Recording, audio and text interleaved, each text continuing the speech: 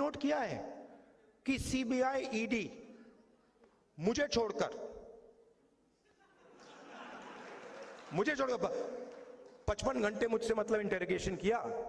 मैं दो तीन साल बाद आपको बताऊँगा, उस डिस्कशन में क्या हुआ।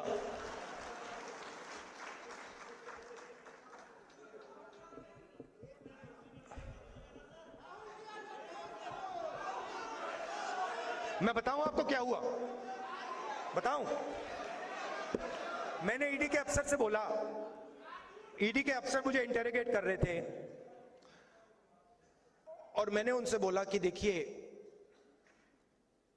आप सोच रहे हो कि आपने मुझे यहाँ बुलाया है, मगर आप गलत फहमी में हो।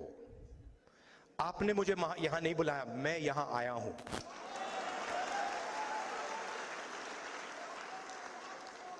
और आप जानते हो मैं यहाँ क्यों आया हूँ? कहते हैं नहीं मैं यहाँ इसलिए आया हूँ क्योंकि मैं देखना चाहता हूँ हिंदुस्तान के लोकतंत्र की हत्या कौन लोग कर रहे हैं?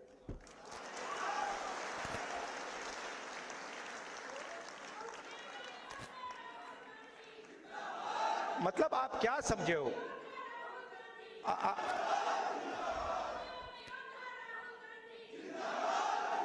मैं मैं वहाँ पे इंटेरोगेशन हो रहा था, वहाँ पे एक सेल पड़ा हुआ था, वो लॉकअप होता है। वो इंटेरोगेट कर रहा है मुझे, मैं सोच रहा हूँ, यार मेरे परदादा 12 साल ऐसे सेल में बैठे थे, कम से कम 10 साल तो मुझे भी जाना चाहिए। आप मुझे कोई भी सेल दे दो, कोई फ़र्क नहीं पड़ता।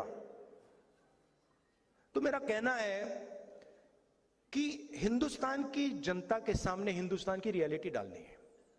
और मैं मैं बिलीव करता हूँ, चाहे वो किसी भी जात का व्यक्ति हो, अगर हमने रियलिटी सामने रख दी ऐसे, हिंदुस्तान की राजनीति बिल्कुल बदल जाएगी।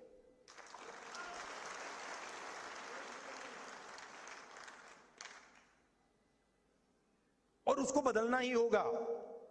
क्योंकि 90 परसेंट को आप चुप नहीं रख सकते 90 परसेंट की शक्ति को आप कंट्रोल नहीं कर सकते, कुछ भी कर लो।